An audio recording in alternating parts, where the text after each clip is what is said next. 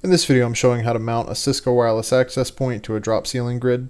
I'll be doing this demonstration with a Cisco 2802i access point, but the steps are similar for just about all the models. And I'll be using the standard Cisco mounting brackets that are included in the boxes with the APs. I'll start by explaining how the brackets work. The mounting hardware consists of two pieces. One is this smaller clip that snaps around the ceiling grid, and you also get this larger plate that the AP slides onto, as well as the screws to put the two together.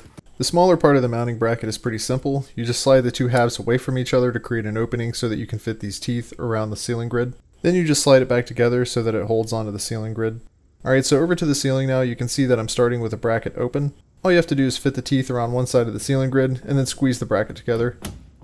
Up next is the plate that the AP slides onto and the four mounting screws. And just a quick observation here, it seems like the most common type of ceiling grid is going to have you using the B screw holes here. As for the orientation of the mount, the cables for the access point are always going to come out on this side of the plate that has the extra metal here. So make note of that if aesthetics are a concern and you have to conceal the cables.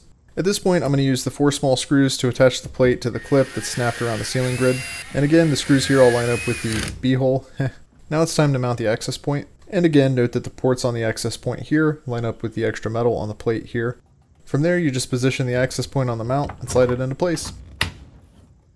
Alright, so pretty straightforward. This is what the finished install looks like. Of course, it's never just installing an access point and not running a cable to it, so I'm going to include a small tip here about how to fish the cable through the ceiling tile.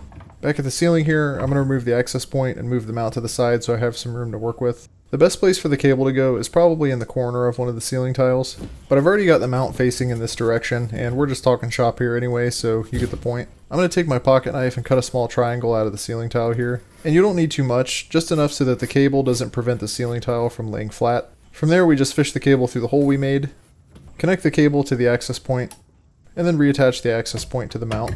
And with using this method, you should be able to put the ceiling tiles back the way you found them, and have the cable concealed behind the access point.